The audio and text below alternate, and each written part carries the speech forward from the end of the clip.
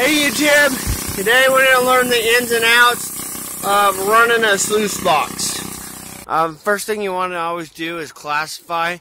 I drag classified this so I can show you why we want to wet classify. So we'll go ahead and wet classify the big stuff and I'll show you why we want to do that.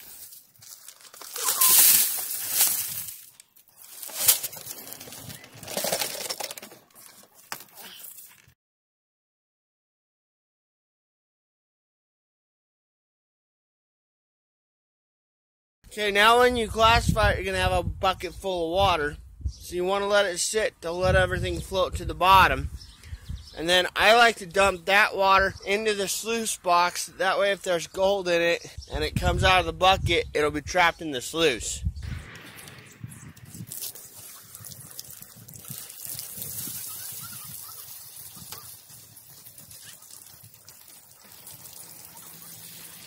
Alright, as you can see by wet classifying it, we got a little more finer material. If we would have just thrown that off to the side, we would have missed that. And if there would have been gold hiding on those rocks, we wouldn't have caught that. We would have just thrown it out. Some of you may be wondering why we classify before we run through a sluice box. I'm going to go ahead and show you why.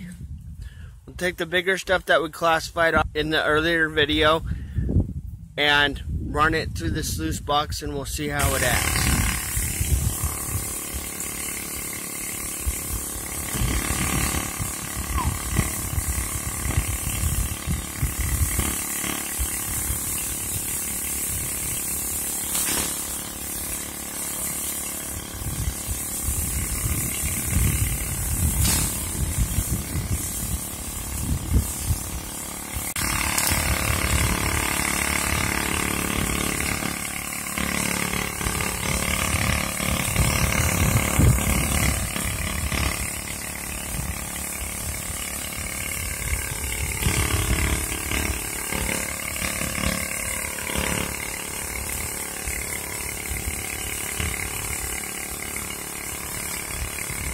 As you can nothing is moving down the sluice because these rocks are heavier and they can't be washed through.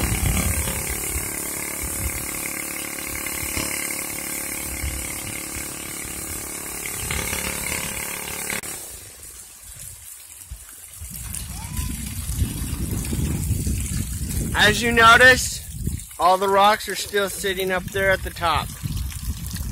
There is some that has moved down, but there's nothing down here. This is why we classify. Okay, after you get your sluice box going, you want to make sure your water is running evenly.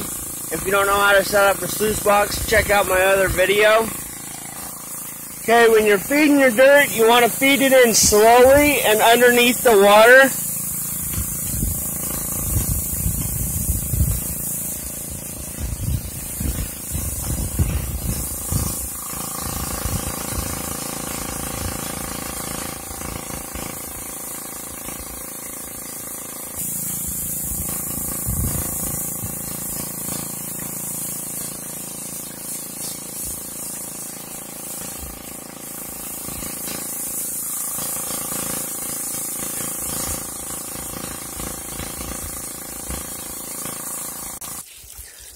Okay, if your sluice is running too slow, it'll plug up.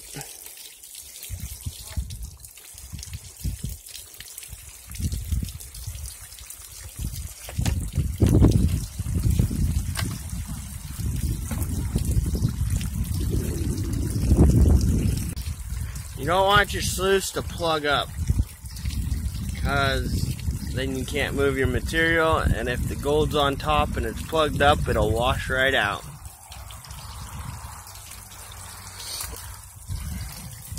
Another way to see if you don't have enough water pressure is there's hardly any water coming over the edge of your sluice.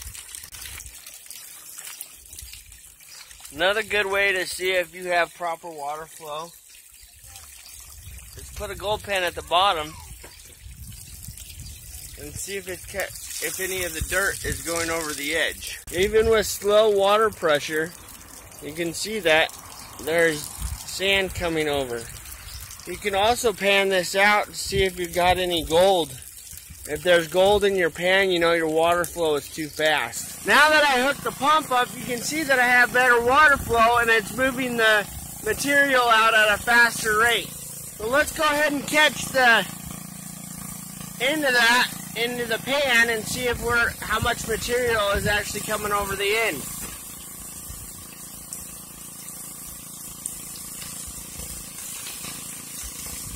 As you can see, we have a fair amount of light material being washed away.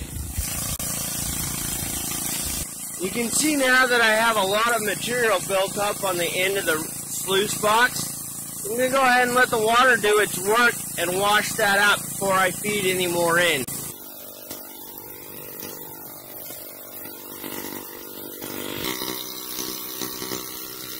When you're first learning to use your sluice box, and you're using a pump, you need to mess with the water until you find what's right for your sluice box. Then you can set the idle screw to your pump and then you can always get the same water flow every time.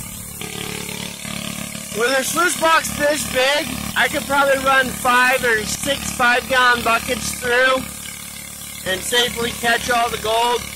Some people will argue and say that with it being this big, you could run 10 or 20, but I don't like to run too much because I don't want to miss any of that gold. If I'm going to work this hard, why would I want to lose it? This dirt here I got from a friend of mine. Said there might be gold. He doesn't know, so I'm checking it out for him. Now I've ran about a half a five gallon bucket through it. I'm to go ahead and clean this up, see if there's any gold in it.